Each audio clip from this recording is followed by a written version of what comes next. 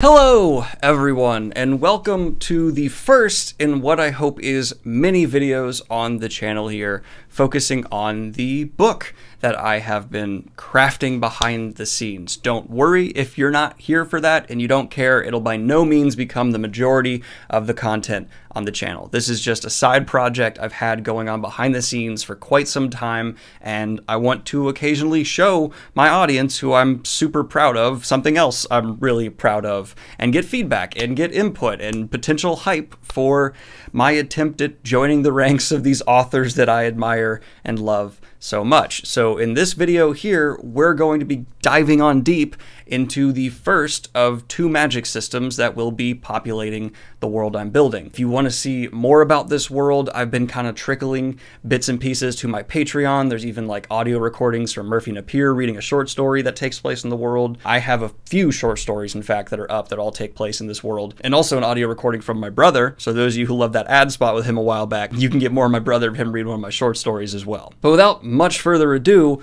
I want to go ahead and tell you about the first magic system here, which is the harder of the two. Yes, I'm going full Wheel of Time style here and having a harder versus softer magic system at play. But you will notice that there is a very core element to me explaining this magic system to you here that is missing, and that is the lore behind it. I'm keeping lore rather close to the chest for a while, especially in development of this project, because, well, it is finally shifting from something that's feeling like a pipe dream that'll never come true to oh no, it's a reality, hence why I'm comfortable enough sharing it with you. I don't necessarily want to release those details because I want to have the flexibility to still maybe manipulate the lore a bit as I'm figuring out exactly how this story is going to come to a conclusion. So, yes, the things that are for sure and done will potentially be trickled out to you in videos or for sure put on Patreon. The lore, lore and major plot details, yeah, those are those are going to be close to the chest for a while. Let's go ahead and discuss Grohalind, or as it's commonly known, gripping. Grohalind is the ability to telekinetically grab and exert force onto any non-living object or material, a push-pull mechanic with energy derived from an internal source called the Grohalind. Basic use of gripping involves the wielder pushing and pulling from their own person, limiting the amount of weight they can handle before the pushback on themselves becomes too great. Now, that seems like a fairly standard telekinetic mechanic, and that's where I wanted to kind of grow from. The main philosophy here for me was I want to have something basic that I can then layer these interesting angles on top of. One of the first real interesting subversions from your typical telekinetic powers that we've seen in everything from the Force in Star Wars to Cosmere's allomancy is tying. So more advanced grippers have discovered ways to link the energy they wield to objects objects outside themselves. This ability, known as tying, allows them to grip objects to one another, nullifying their own weight limitations. While extremely beneficial for any gripper to learn, the practice of tying is mastered by few. So a pretty straightforward example of this would be you are standing in a street. There's a brick wall in front of you you desperately want to get through because some dastardly villain has taken the woman you love, right? So you want to get through that wall. Well, you don't necessarily have the physical mass to push this wall over with your body. That would cause quite the problem. So what you could do instead is tie it off you would essentially tie the telekinetic weight instead of being from you to a boulder. You then input the energy from the To exert force from the boulder's mass into that of the wall, causing the wall to topple over. Dun dun dun dun! You can save your significant other who is being held by, you know, evil bad people. Now, the immediate question comes into play when you're handling telekinetic abilities as a writer are what are the limitations? Because theoretically, with no limits, someone with telekinetic abilities could just pull the sun into the earth no story, we're all dead. I've already established one limitation, right, with the weight issue. Even if you can tie it off to something with great mass, there's only so much mass available in any given sightline. And if you try to just tie everything to the Earth, you can only shoot things upwards. Well, I'm going to add another limitation on top there because I don't necessarily want people to be able to just endlessly push on things and their only limitation to be, well, there's not a big enough rock around, right? That's kind of boring. And that is where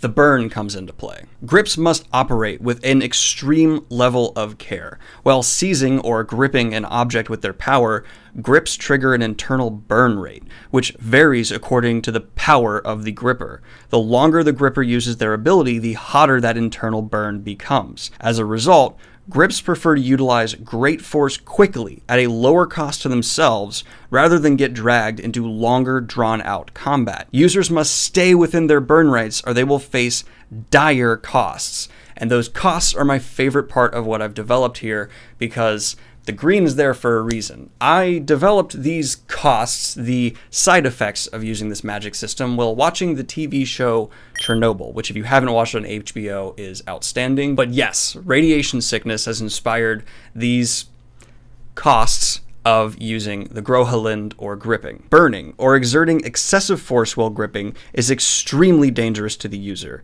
and potentially those around him. So to summarize what was just said, if someone's just doing extremely small tasks, there's like a flick of flame inside them. There's no real cost. The burn is minimal, but the longer it's dragged out, even at lower levels, the greater the consequences for what they're doing. So let's go over those consequences for someone who's burning at a weak level, a stronger level, or igniting. Someone who is weakly burning for an extended period of time will immediately begin suffering from nausea, possible vomiting, headache, fever, dizziness, extreme fatigue, or a drop in blood pressure. A delayed result may be diarrhea, risk of illness such as infection, excessive sleep, and aching pain. Now, those are just for people who are burning for extended period of times at lower levels. Let's look at for extended period of times for stronger levels. A stronger burn may result in vomiting blood, loss of consciousness, internal bleeding and aching pain. The delayed results would be hair loss, bloody diuretic stool, crippling pain, and possible death. And then, of course, with every good magic system, there is the using it to its most extreme. The I don't care about my life anymore and having my giant heroic thrust, which I don't even have any in my story yet, but definitely exists within the world.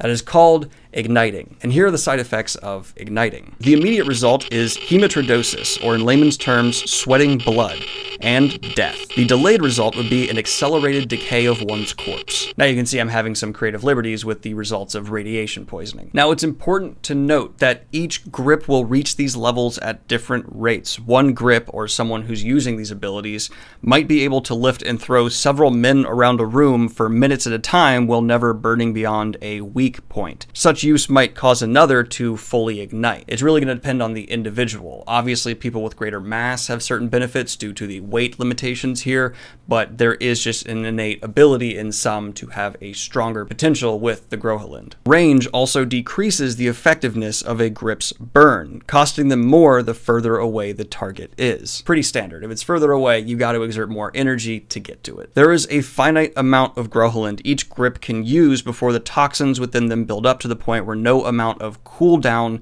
can solve the problem. And of course, now we need to get into that cooling down. How long after someone does some burning do they need to wait before it's almost reset? Well, the truth is you can never fully reset. Everyone here is a wick burning to their end. How long a gripper needs to cool down or reset their burn is dependent on how long they were burning. This cooldown rate is also somewhat inconsistent between grips. Many have observed that larger grips tend to be able to burn hotter for longer with lesser consequences, but even that is not a foolproof method of judging the needed cooldown the grip's abilities. If a grip is in a desperate situation where they must continue to burn their powers, they can extinguish, resulting in a bleed. When a grip extinguishes, they are completely cutting themselves off from their ability to use the Grohalind for several minutes. During that time, the process of bleeding begins. Bleeding is the leaking of the internal toxin of the Grohalind out into the environment around the gripper. Those in the vicinity of the release can be severely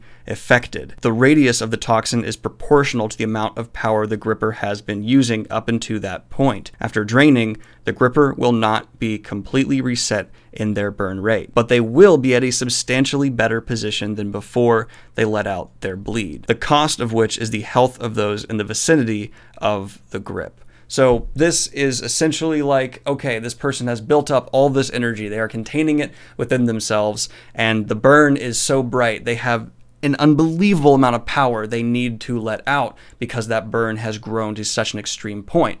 So they finally do. They can't let it cool down, just let it burn off by not using their power anymore. They're in a desperate situation. They need to keep the burn going. So they completely smite it by letting it all out, letting the energy just invade the world around them. Specifically, I came up with this in the scene in Chernobyl where I saw firefighters standing next to the exposed radioactive core. And that's going to be the ramifications for those who are unfortunate enough to be around someone who is at a point where they are forced to utilize this method. Now, there's obviously a weaponization aspect here as well. If someone wants to just demolish an entire section of the enemy's force, get someone to the point where they can do this to a great extent and send them off. Obviously, a weaker grip not going to have a whole lot of this coming off them. They'll maybe just infest a few yards, and those within will have mild symptoms. But if you have an extremely powerful grip who has fully overloaded himself and is in the middle of the enemy army or just maybe even in a city you want to no longer be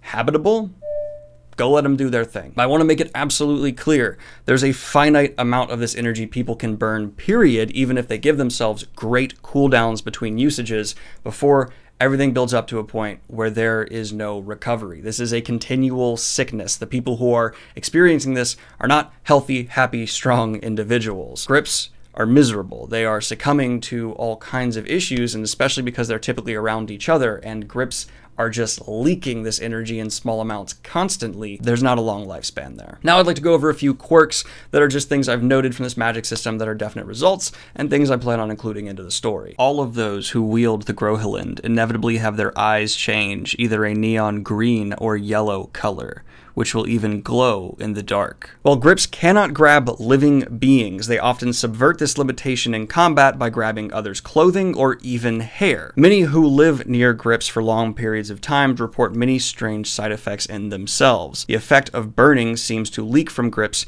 even if they have not drained or bled out the energy. This has resulted in the temples in which the Grohalind is taught to be largely removed from society. The most notable sign someone is actively utilizing the Grohalind in your presence is an overwhelming metallic taste. If a grip has burnt to the point where a cooldown may take weeks or even months, many venture into remote locations where they can extinguish without the risk of harming any nearby. So that is the raw data of a magic system I have crafted so far. I have completely removed all the lore elements here. Those are, again, as I've said, going to be still kept up my sleeves, but I'm very interested in your feedback. I think the core of it is rather simple. Telekinesis has been done in fiction thousands of times. But I've wanted to just have something simple like that, and then you layer on top a whole lot of consequences, which I felt were fairly original, fairly new, and I like that those consequences themselves could inherently be a weapon. Hello, and welcome to your first ever episode of Daniel Tries to Graphically Over-Explain a Point because he's nervous some people are going to misinterpret things about his magic system. And in today's episode, I am going to use fire to really demonstrate to you how all of this is going to work within the text, the narrative I am writing. And I just feel the need to say this. Do not play with fire at home. I'm a trained guy, so I know what I'm doing here. I'm not gonna be doing anything crazy dangerous, but seriously, especially if you're a kid watching this, don't do this at home. Don't be dumb. So something in this video that I've touched on that I feel needs a little bit more explaining is exactly how these costs are going to work. I touched on weak, strong versus igniting. Igniting basically meaning you commit suicide trying to do something too extreme for your body to handle. And as you get older, as you use this power more and more instead of becoming stronger, you are more vulnerable to these more severe effects. Think of it this way. If I have a candle, I can take a flame to it and overall it's not really going to harm the candle much. But even if I take a larger flame and don't overdo it, not that big a deal. The larger flame in this instance being a greater exertion of force from someone who can use gripping. Really the point I'm trying to hit home here is that briefly using gripping has very little damage to the user at all. Just how you can take a flame and as long as you quickly move it over something, nothing really happens. We all know the party trick where you can basically put your hands through flame and it doesn't hurt you. Over time, while you may be more experienced to become a little bit of a larger candle with multiple wicks, you can do more things, you have more power at your disposal, you've also drained. This is a pretty empty candle. It's getting down to just its core roots and every little bit of fire in there is going to do exponentially more damage in terms of the reserves left. There's a finite amount at this person's disposal. And let's say this person who has a lot of experience starts burning at the max capacity they can without directly committing suicide. You start to see the candle's gonna be dripping away fast. There's not a whole lot left for it to pull from. Now, this person who has just burnt really hard doesn't want to deal with the ramifications of all these toxins inside of them. Now, if I just put this cap on, the smoke would build up, the inside would get greasier, aka the side effects we mentioned before. But instead, this person can extinguish and drain, and the smoke comes out, affecting everyone in the area. Anyone in this room right now can now smell this disgusting smoke and that's not exactly pleasant. Amplify that to be the radiation sickness that I was inspired from for the side effects of my magic system. That's warm on its base. So there's two real factors here in terms of the cost benefit analysis of using Grohalind or gripping in combat or daily life. Really, you can do small things with no cost to you in the long run. Even just a brief blip of flame on a candle has zero effect. But anything that's a bit larger, even the small amount can have some effect. Sticking your hand in front of a flamethrower, even for a half a second, will have a cost. So yeah, you need to be careful how often you burn big flames. And then finally, there's the long-term buildup problem, the toxins living in your body becoming more severe as you get older. They play off each other in what I feel is a nice push back and forth. We're gonna end the playing with fire now. I hope this explained my ramifications and how they play out to you in a more beneficiary manner. Back to the desk and green screen. So I'm very excited and admittedly nervous for your feedback. Let me know what you think in the comments down below. Like and subscribe if you have not already or you are really interested to see where this book, this story I'm crafting continues on in the second magic system, which I hope to have a video out here for fairly soon. And join the Patreon if you'd like to see the more behind the scenes stuff I have leaking on out. Have a good one, y'all. Peace.